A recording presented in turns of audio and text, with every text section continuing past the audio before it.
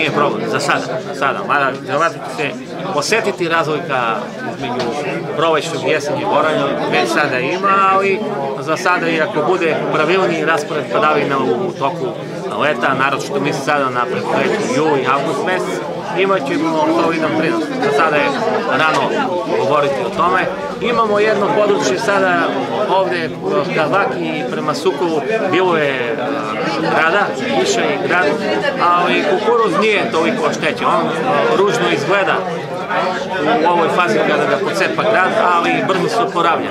Jer još nema on ono jako stabilno razvijeno i tako dalje, on odmah iz centra iz temenog kupuljka razvije nove listove i tako da, da se brzo oporavlja. Značajnije na kukuruz ne, za sada ne. Tako da je on dosta, biljka koja dosta dobro podnosi bar taj grad i u vremenske nepožele.